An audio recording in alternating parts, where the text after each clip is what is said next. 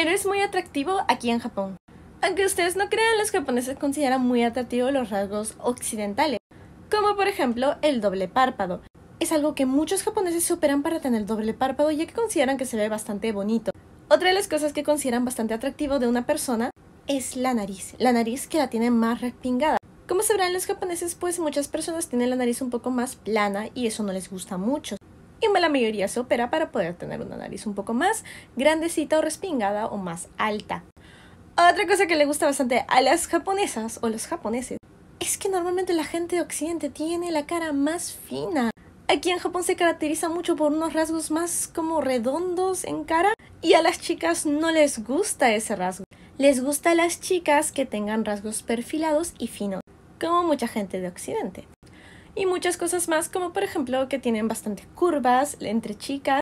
Los chicos son más musculosos o más fuertes.